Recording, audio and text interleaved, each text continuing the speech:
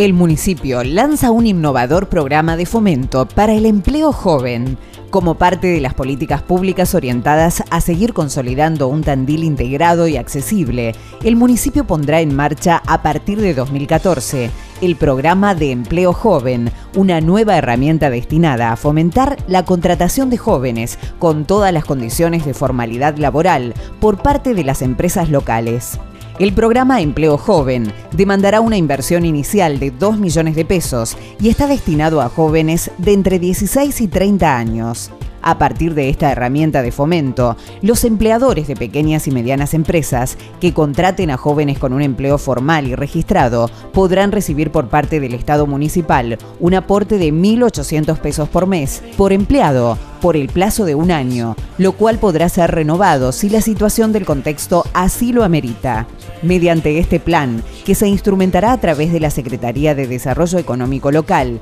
se espera generar en la primera etapa más de un centenar de nuevos puestos de trabajo, con la máxima formalidad laboral de la legislación argentina. El intendente Miguel Lungui destacó que este programa es un ejemplo más de políticas de Estado impulsada por el municipio, porque tendrá continuidad en el tiempo e irá consolidándose año tras año. Lungi consideró que el PASE es otro de los programas que hemos instrumentado como política de Estado y junto a este programa de empleo joven se potencian y se integran la educación y el trabajo como dos aspectos relacionados y fundamentales para la inclusión social y el desarrollo presente y futuro de Tandil. Desde el municipio adelantaron que próximamente se darán a conocer todos los detalles y la fecha en la que comenzará la inscripción al nuevo programa.